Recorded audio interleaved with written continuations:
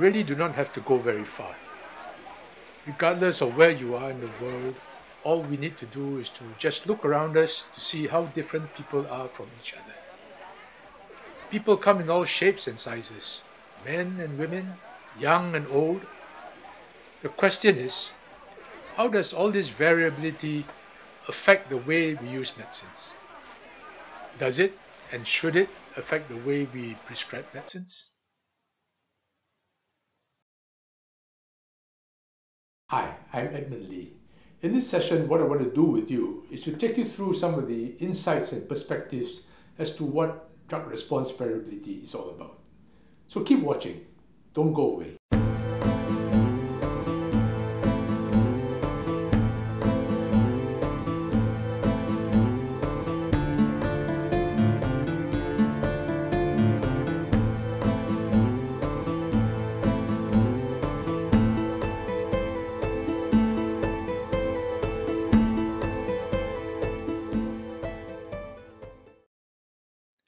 Back in 400 BC, it was Hippocrates who pointed out that it was far more important to know the person behind the disease than the actual disease that the person has. Likewise, just over a hundred years ago, the Canadian physician Sir William Osler noted that it was because of this great variability that exists between individuals that medicine was very much more of an art than a science. Of course, nowadays, this ability to recognize the variability between individuals has become much more of a science than an art. Now consider this young lady with a very bad bronchitis, most probably from a Haemophilus infection. She was prescribed a standard textbook dose of ciprofloxacin. Now, Given what we know about the variability that exists within the population, the question is, is the dose appropriate for her? If the dose is too small, there's a risk for drug resistance to develop in the bacteria. On the other hand, if the dose is too large, even though the risk is very, very small, there's a risk of sudden cardiac death developing. There is a misconception that variability in drug response is really just all about outliers. And this is not the case. This is not to say that outliers are unimportant. In fact, they are very important because they are an integral part of our consideration of drug response variability. Many of the outliers that we identify are actually pharmacogenetic variants, and we need to pay special attention to these. What I'm trying to point out here is that we need to look beyond the outliers to look at the variability that may exist within the normal distribution. Let's take a look at this frequency distribution of heights in a bunch of army conscripts. All our scientific and statistical training teaches us to describe this population in terms of the mean and the standard deviation.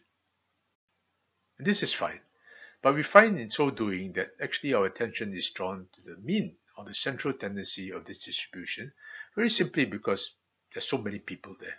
But what we don't realize that in so doing, we actually miss out important information which is actually occurring at the tails of the distribution because this is where the problems actually occur.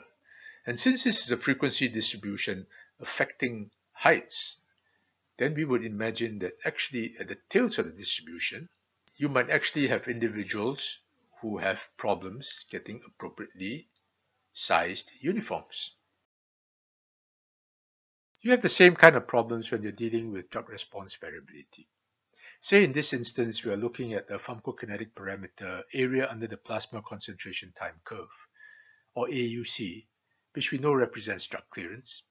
And we do a frequency distribution of the values in the population obtained after a standard dose of the drug and we get a normal distribution.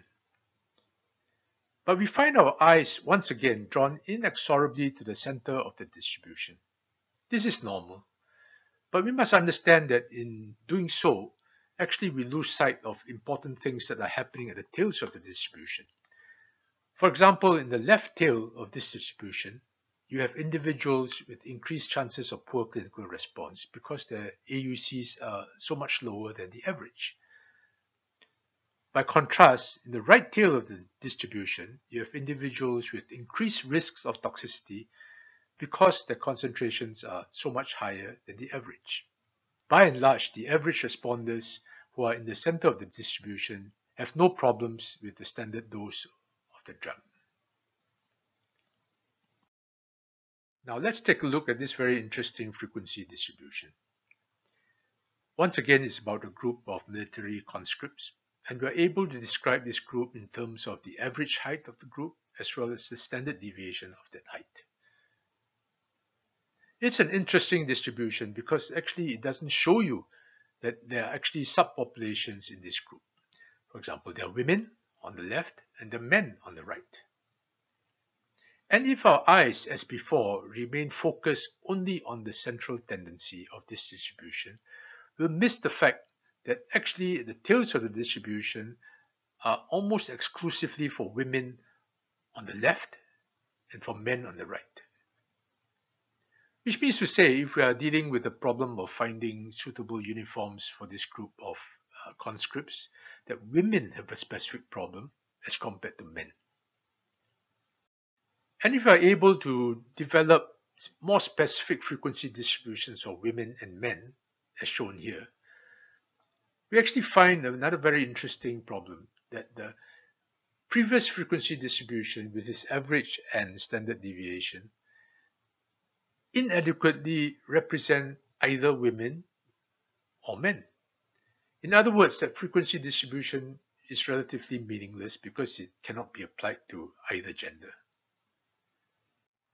This is a representation of the uh, same principles applied to drug response variability. And once again, we're looking at the pharmacokinetic parameter area under the curve, and we find that the AUC uh, developed by women following a standard dose of the drug are actually quite different from the AUCs developed by men.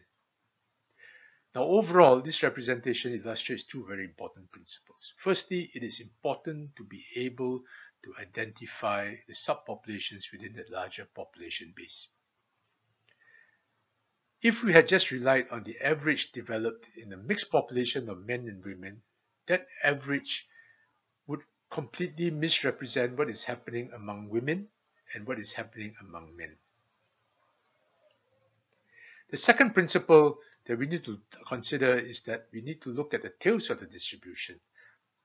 And now we examine the tails of the distribution, we find that the uh, left tail of the distribution is almost exclusively women, and the right tail of the distribution is almost exclusively men.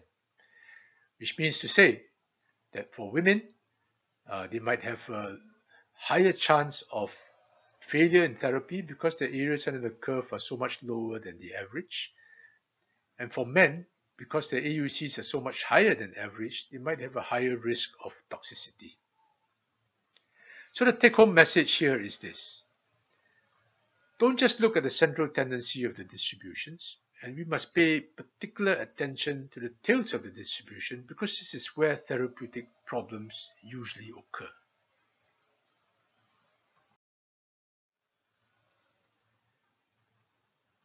Now let's consider the problems of drug response variability, when we have a situation where the drug is developed within one population and then it's exported and marketed to be used in another population, and there might be differences between these two populations. So, what are the implications of this drug response variability for global drug development and marketing? Let's think about it. Now, here's a frequency distribution of the platelet response to a standard dose of clopidogrel given to patients. Then you find in this frequency distribution that most of the patients actually have a reasonable response to clopidogrel, ranging from 10 to 50% platelet inhibition. But what is alarming is that if you look at the far right of this distribution, you find that there are actually patients with an excessive inhibition of platelets, uh, ranging from 60 to 70% uh, inhibition of platelets. Now this is alarming because in these patients, because of the excessive inhibition of platelets, they might actually have an increased risk of uh, bleeding. Now, if you look at the left of the distribution, you actually find that actually there are some patients here on the left uh, with less than 10% uh, inhibition of platelets. Now, effectively, in these patients, uh, they have no clinical response or no clinical benefits to the use of clopidogrel. Now, if you look closely at this distribution, on the far left of this distribution, you find that there are actually patients with negative values in terms of the change in platelet aggregability. Now, what does this mean? In these patients, there might actually be an increased uh, activity of platelets after having received a platelet inhibitor clopidogrel. In the terms of the clinical response, these patients may actually have a hyperthrombotic state when they are being treated with uh, platelet inhibitor clopidogrel. And this is problematic because here you have patients with an increased thrombotic state, uh, which is really the kind of thing that you're trying to prevent when you're using the drug clopidogrel. So when you look at all this, you realize that just giving a standard uh, drug clopidogrel, which should be a relatively simple exercise, you find that you actually have a wide range in terms of the variability in the response to this particular drug. And this variability does need to be considered and recognized, and we must learn how to deal with this variability in the clinical response. Take the situation where there are two population groups, A and B. Now, these two groups might be actually from the same country, but just of different ethnicities, or they might be from the same country, but just happen to be separated geographically, or they might possibly represent a situation where A is the country where the drug has been developed and where dosage requirements have been defined, and B is the population where the drug eventually is marketed to and where the drug is to be used. Now, there is a real pharmacokinetic difference between uh, populations A and B. And the parameter that we might look at might be the area under the plasma concentration time curve, or AUC, uh, which for all intents and purposes would represent the clearance of the drug. And the magnitude of this difference, which is about 25%, is not particularly large. And most pharmacokinetic studies might not actually be powered to, uh, to detect a difference of this magnitude. And therefore, if we just concentrate on the means of the distributions and the differences between the means, we might be tempted to overlook this real difference. But we should look at the tails of the distribution. And in this particular instance, just focus on the right tail of the two distributions. If we assume there is an empirical toxicity threshold which theoretically is set at plus 2 standard deviations uh, from the mean of population A. You can see that the areas under the two curves that are beyond this toxicity threshold uh, are actually quite different between the two populations. And the percentages of the population who have values exceeding this threshold are actually therefore quite different under population A, the percentage of, pop, of the population that actually have concentrations above this threshold is about 2.3%, as compared to for population B, where the percentage of the population is about 15.9%, which are who are above the uh, toxicity threshold. And this suggests that the risk of developing toxicity in population B might be as much as seven times higher than population A.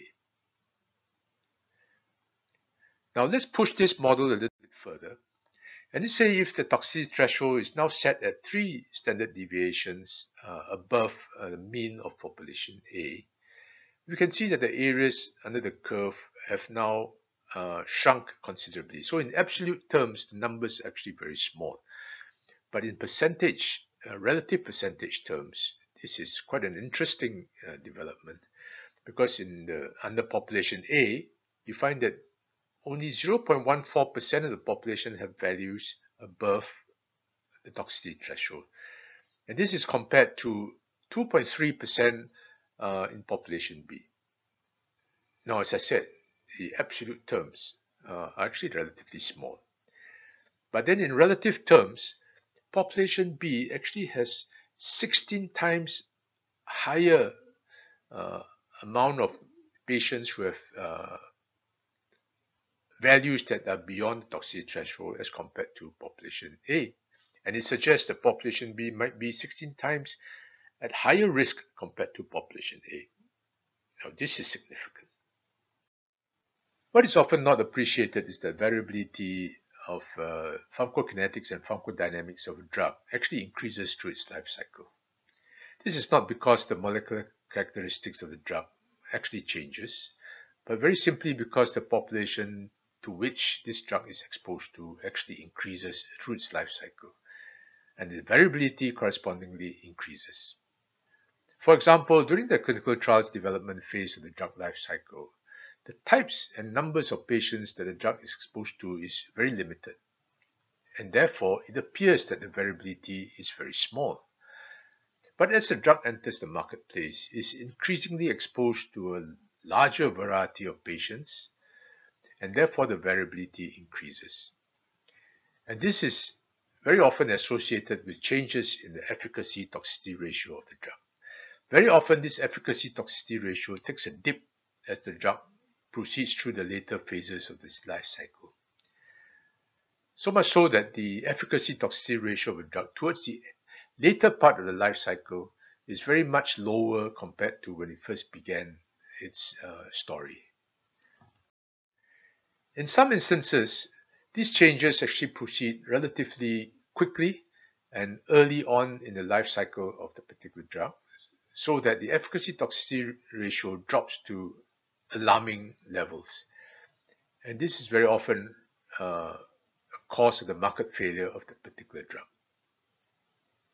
So we have come to the end of this presentation. I hope you have uh, enjoyed watching the video, but there's lots more to come.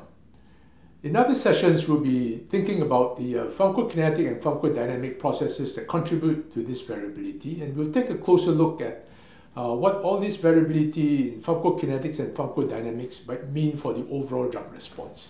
So do keep following this video series.